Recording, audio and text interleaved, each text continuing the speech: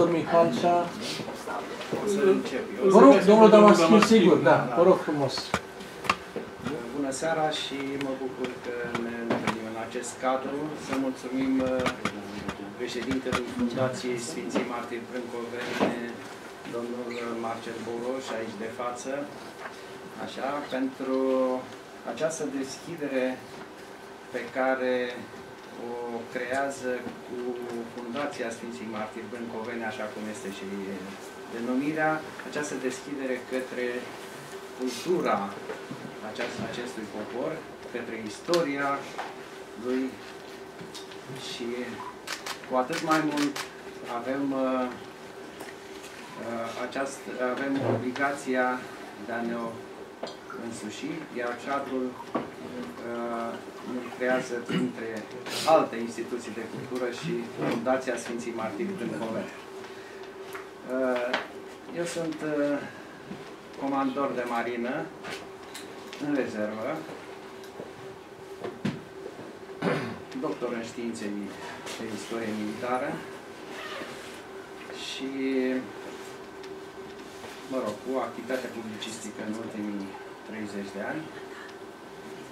Și cum uh, era și normal, nu puteam să uh, nu îmi, să nu încadrez în preocupările mele activitatea publicistică și publicistica acestui geniu al poeziei românești, a publicisticii românești. Și de aceea mi-am uh, focalizat intervenția mea din această seară pe publicistica eminesciană. Am uh, admirat uh, modul de prezentare a doamnei profesor, înainte, care a vorbit înaintea mea, și a tânărului elev, Matei, căruia, care m-a impresionat printr-o printr-o expresie.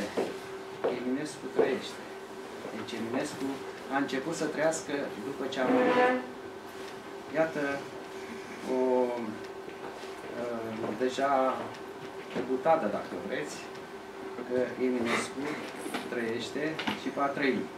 Eminescu este un reper al culturii române, un reper care ne individualizează din perspectiva, din perspectiva culturală și literară în acest concept, ca să spun așa, al țărilor, al culturii din țările europene și nu numai. Spuneam că mi-am focalizat cercetările asupra publicisticii eminesciene, dar pentru că aș putea să vorbesc foarte mult și, foarte, și să intru în detalii care nu ar, nu, nu, ar putea să nu fie semnificative, voi, mă voi referi doar la evenimentele politice principale care sunt, sunt relatate în publicistica lui Eminescu. Aici într-adevăr, trebuie să recunoaștem că traducerea în alte limbi a poeziei lui Eminescu este foarte dificilă. Ca să poți să, ca să, poți să surprinzi toate, toate nuanțele acestei, acestui, poeziei acestui geniu românesc. Român.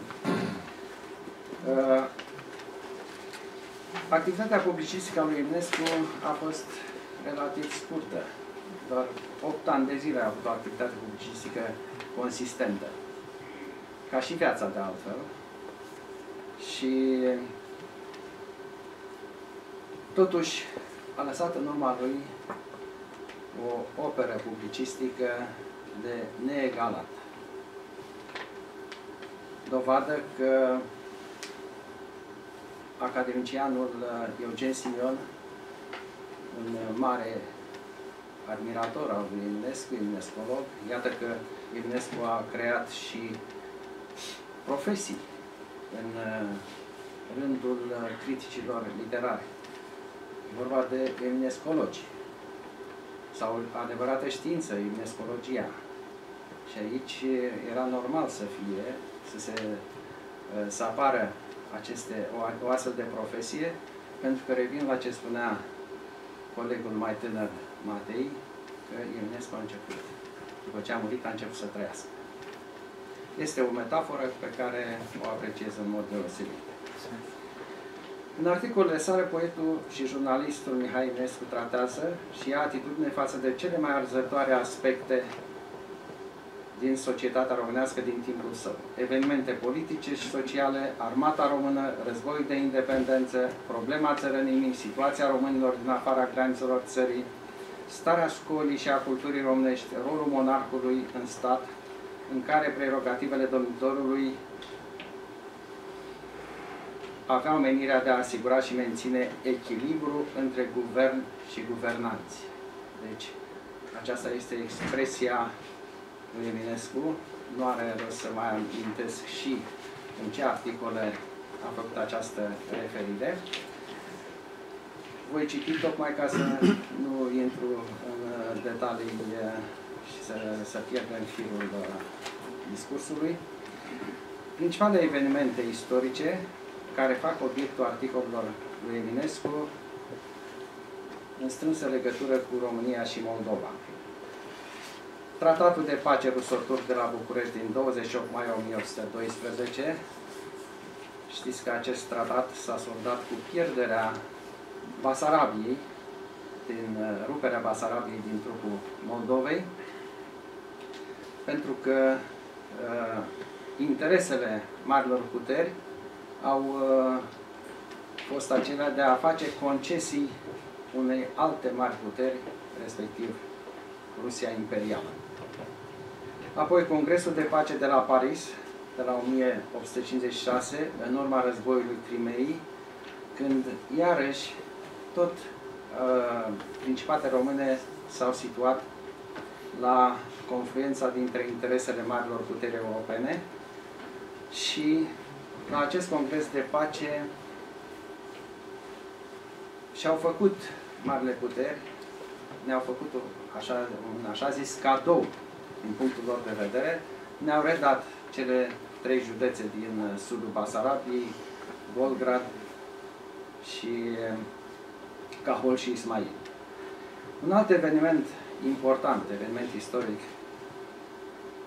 ce nu putea să lipsească din publicistica ionesciană a fost unirea principatelor române sub domnia lui Alexandru Ioan Cuza și reformele acestuia.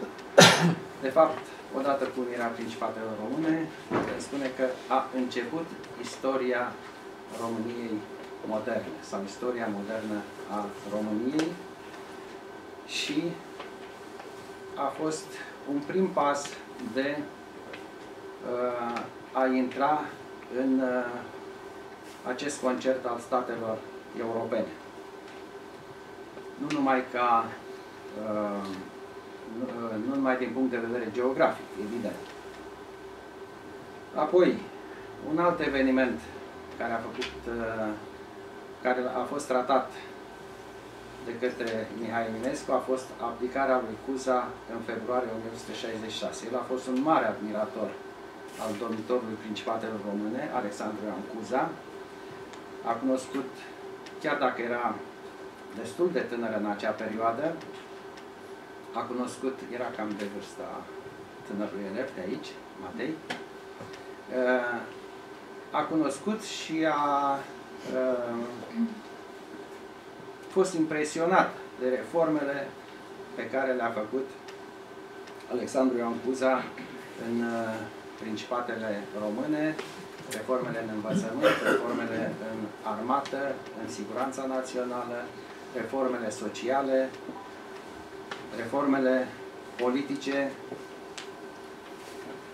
De asemenea, uh, a fost uh, impresionat de modul barbar în care Cuza a fost lipsit, a fost uh, obligat să abdice cu pistolul la tâmplă și uh, a criticat foarte dur acest moment, deși a manifestat foarte multă înțelegere și a tratat cu deosebită responsabilitate venirea regelui Carol I, reformele pe care acest principe și apoi rege al României străin a reușit să ne aducă în rândul țărilor europene. Și atunci a privit cu mai multă înțelegere și aplicarea domnitorului Cusa și evident aici a trebuit să uh, sacrifice anumite sentimente pe care le purta uh, acestui mare domnitor român. Un alt eveniment istoric, războiul ruso-turc din 1877-1978, care s-a finalizat pentru Principatele Române cu obținerea independenței de stat a României. Dacă uh, m-aș, mă, refer, mă adresez elevilor în primul rând,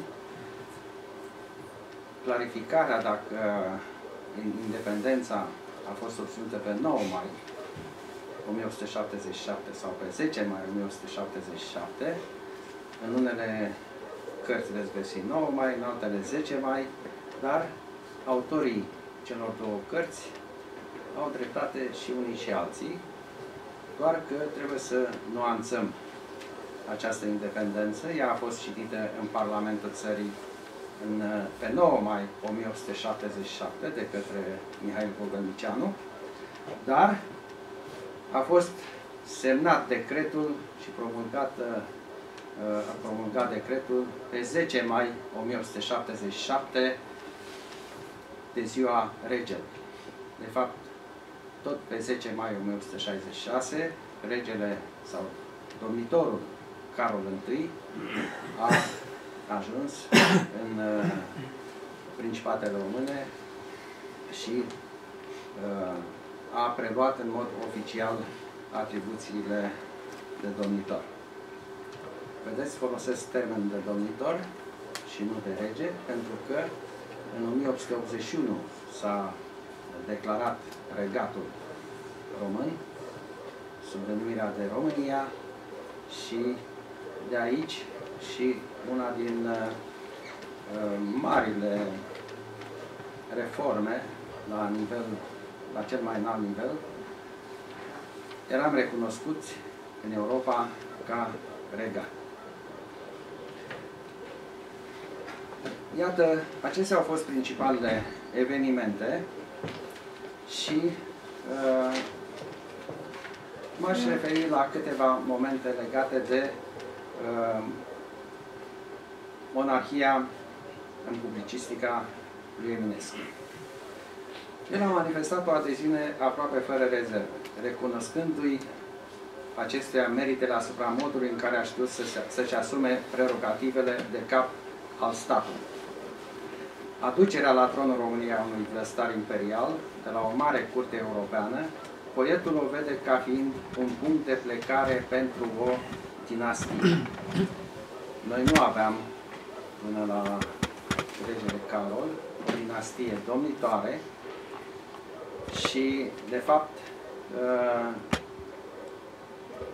unul din motivele pentru care s-a format acea monstruoasă coaliție, deși a fost un motiv fals, cum că Alexandru Ioan Cuza vrea să-și să lase să întemeze dinastia Cuza și să lase domnitori în continuare pe unul din cei doi fii, a avut doi fii, dar uh, uh, nu intru în detalii pentru că uh, nu erau uh, uh, acești fii dintr-o relație cu Elena Cuza, cu Elena Doamna, ci cu Maria Obrenovici, care uh, nu era Marea Doamnă a României, a Principatelor Române.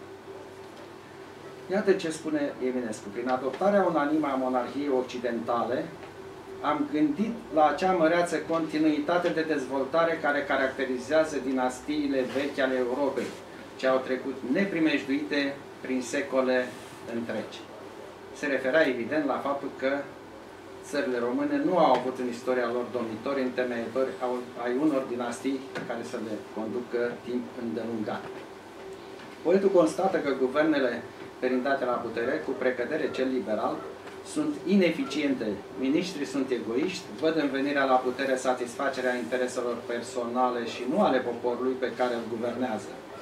El sugerează regelui Carol I să se dispenseze de acei care reprezintă pe față interese, interese străine și gândesc doar la ei. Adesea Eminescu îl numea pe Carol I îngăduitor în ziarul Timpul din 21 decembrie 1880.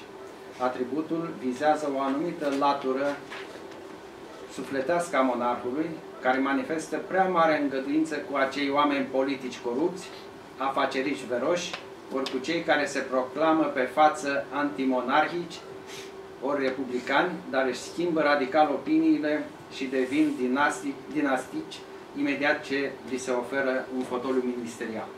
El face uh, referire concret la Revoluția de la uh, Ploiești, așa zisa Revoluție, din uh, 1970, 1870, din 8 august, când uh, un grup de puciști, ca să-i numim după un termen mai uh, nou, un grup de conspiratori în care se aflau Candiano Popescu, Eugeniu Carada, Brătianu, Rosetti, au încercat o tentativă de lovitură de stat și au declarat așa zisa Republică de la Ploiești, evident încălcând Constituția uh, Principatelor Române.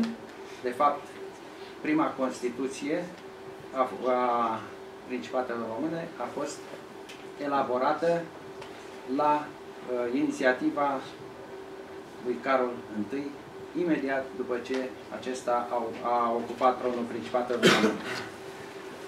De ce îi spunea îngăduitorul? De ce a, a spus că uh, republicanii care s-au declarat antimonarhici uh, au ocupat funcții în, uh, în aparatul și uh, în uh, aparatul de stat, în, uh, cum a fost Candiano Popescu, care a ajuns uh, șeful Casei Regale, deci Candiano Popescu, cel care a fost unul din uh, conspiratori,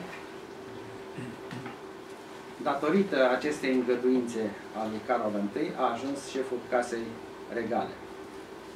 Și iată ce spune. Carol Îngăduitorul e departe de a fi atât de puțin fiind precum le place unora a crede. El posedă acea mare memorie de figuri și nume care se găsește ca o trăsătură caracteristică și moștenită la membrii familiilor suverane și memoria acestuia e unită aproape totdeauna cu o repede pătrundere a caracterelor omenești. Proclamarea la 15 martie 1881 a Regatului României a constituit în epocă, în mod incontestabil, un eveniment de o mare însemnătate, nu numai pe plan național, dar și pe plan european. Evenimentul produs la 15 ani de la sosirea în țara principelui Carol și la 4 ani de la declararea independenței de stat, a schimbat statutul României, consacrând evoluția pozitivă a țării noastre în concertul statelor europene. Deci, acestea au fost câteva aspecte legate de Uh, publicistica imnesciană care se referă la uh, regatul și la uh, monarhia României. Alte teme, dar voi fi mult mai, mult mai concis în ceea ce voi arăta în continuare. Este vorba de războiul de independență a României în opera publicistică imnesciană, descrim primul atac efectuat de trupele din Divizia a 4 compusă aproape numai din moldoveni, arăta că șanțurile au fost luate la primul asalt și seara s-a dat asalt chiar la redută. Armata română începe în acest moment a călca pe urmele vestiților războinici din neamurile Mușatin și Basarab. Este vorba de uh, asaltul uh, redutelor de la Plerna și Grivița, de la sud de Dunăre, în timpul războiului de independență. Însă este foarte dur față de guvernanți care au tratat armata română cu... Uh, au uh, tratat-o cu mult dispreț, au, uh, nu au uh, îmbrăcat-o, nu au dotat-o cu tot ceea ce este necesar, atât uh, cu armament cât și cu echipament. Și iată ce spune Eminescu. Sosirea în București a dorobanților de pe câmpul de luptă în decembrie 1877, într-o mizerie vădită și strigătoare la cer, face obiectul unui amplu articol publicat în ziarul Timpul din 30 decembrie același an. Acești eroi cu care gazetele radicale se laudă atâta, sunt mulțumite guvernului goi și bolnavi. Mantalele lor sunt bucăți, iar sub manta, cămașa de piele și nici cojoc, nici flanelă, nici nimic. Încălțați sunt tot atât de rău, unul cu un papuc și o pincă, altul cu o bucată de manta, înfășurată în prejurul piciorului, toți într-o stare de plâns, într-o stare care te revoltă în adâncul inimii. Deci, iată că uh, se poate observa modul în care privește marele publicist uh, o problemă atât de importantă cum este cea a uh, războiului și participării armatei la război.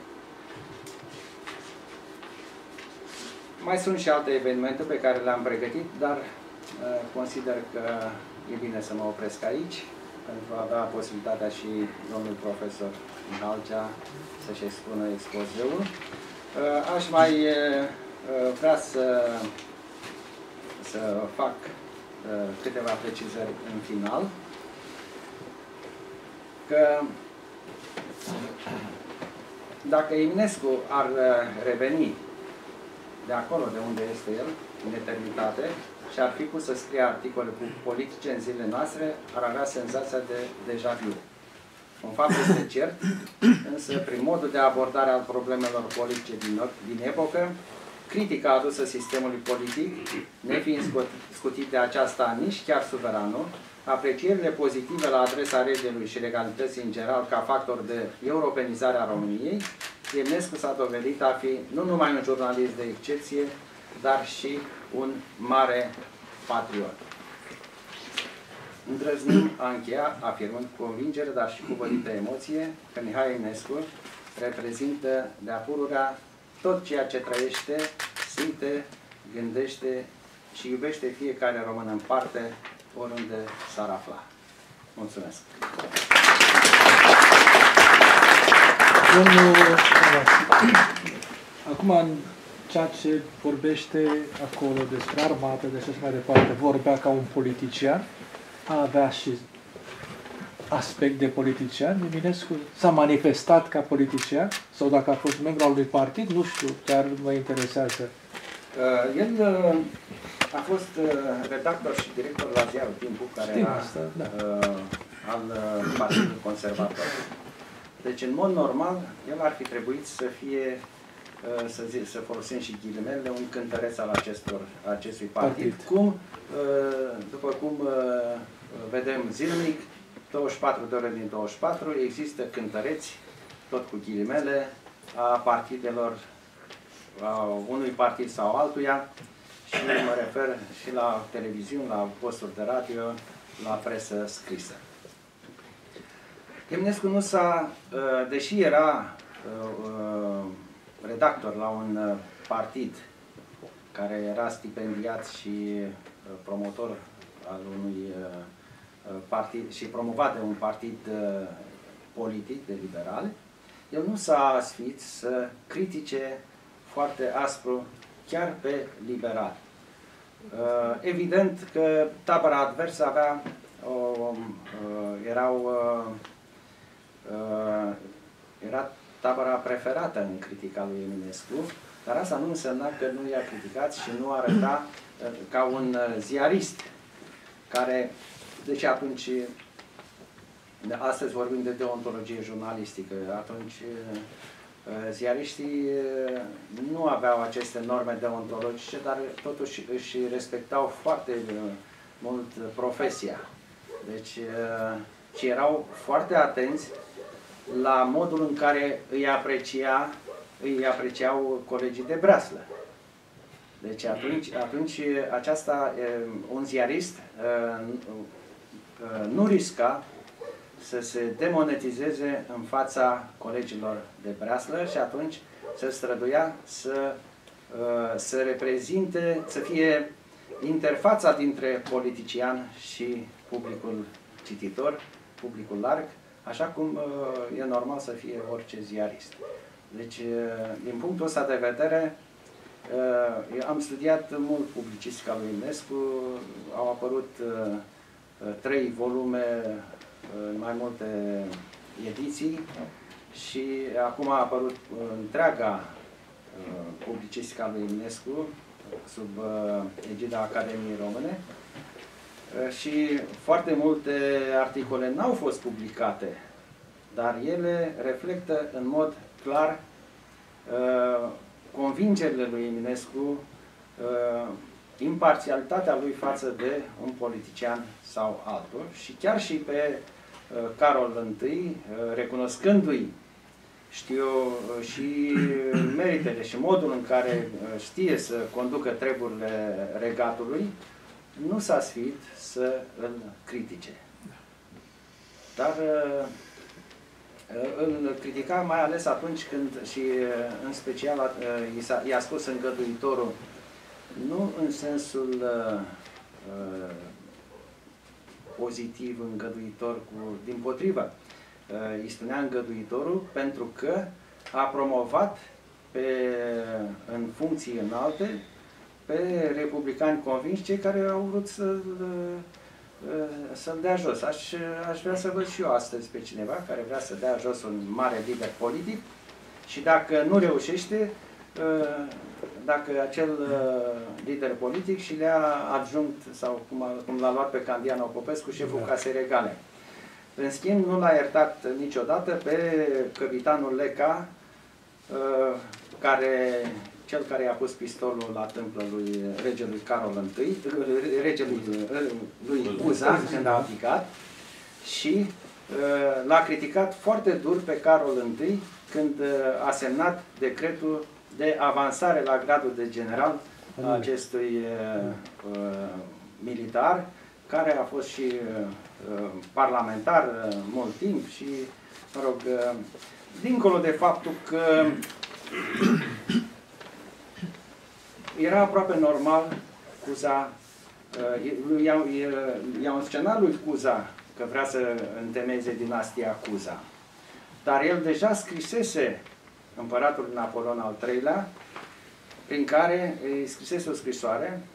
Napoleon al III-lea era un fel de protector, dacă vreți, să luăm, uh, să folosim acest termen, un protector al Principatelor Române și scrisese lui uh, Napoleon al III-lea că uh, în vară intenționează să cedeze tronul, îi se închideau cei șapte ani, se încheiau cei șapte ani de domnie și că nu intenționează să, uh, să întemeieze dinastie, ci și să, să vină un, să deschidă drumul către un principe străin era normal să fie așa, să vină un principe străin, tocmai pentru faptul că uh, Alexandru Ioan Cuza, dincolo de faptul că cam încheiase, încheiase capacitățile manageriale la acest uh, nivel, uh, deja uh, nu mai conducea cu acea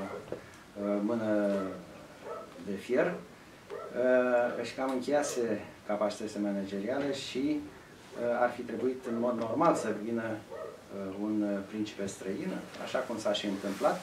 Politicienii vremii care au intrat în acea monstruoasă coaliție, inclusiv Brătianu și ceilalți, inclusiv Cogălnicianu, care a fost primul sfetnic al lui Cuza, au intrat în coaliția aceasta de a da de pe jos de Petron și au plecat în Europa să caute principe străini. Și așa cum se întâmplă, pentru cei care nu știu, cum a ajuns Carol I. Carol I era nepotul Kaiserului Wilhelm al Prusiei și dar nu era principe, era nepotul acestui a Kaiserului, fratele lui Anton și nu el a fost ales de către politicieni români, ci pe Filip de Flandra, care era nepotul lui Napoleon al III-lea. Și Filip de Flandra, care era locotenent, a zis că el nu este interesat de să ajungă domnitor sau rege la un, o țară care nu este, știu eu, detalia unei mari țări europene. Și atunci, aici e, e de... Um, sau cum a ajuns la Carol I? Uh, Carol era capitan în armata prusacă